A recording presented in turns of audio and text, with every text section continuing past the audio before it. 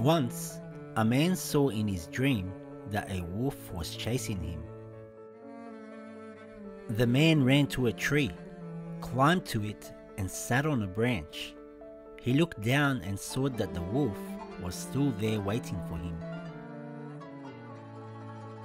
The man then looked onto the side of the branch and saw two rats eating the branch away that he was sitting on.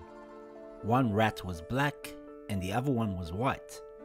The branch will fall on the ground very soon.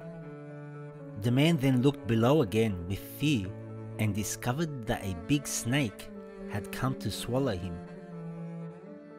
The man, scared for his life, looked up to see if there was anything that he could hold on to.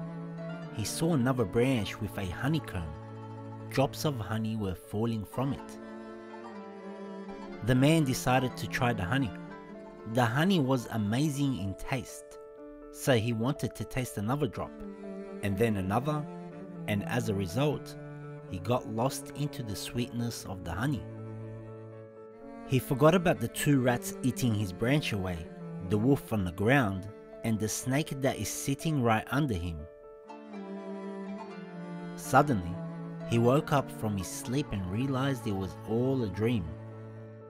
Since this was a unique dream, the man went to a pious scholar of Islam to know its meaning. The scholar said, The wolf you saw is your death. It always chases you and goes wherever you go. The two rats, one black and one white, are the night and the day. The black one is the night and the white one is the day. They eat your time as they take you closer to death. The big snake is your grave it's there, just waiting for you to fall into it. The honeycomb is this world, and the sweet drops of honey are the luxuries of this world. We like to taste a little of these luxuries, and it's very sweet. Then we want to taste a little more, and then more.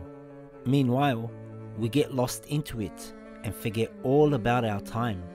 We forget about our death, and we forget about our grave. May Allah subhanahu wa ta'ala wake us up from the sleep and save us before it's too late.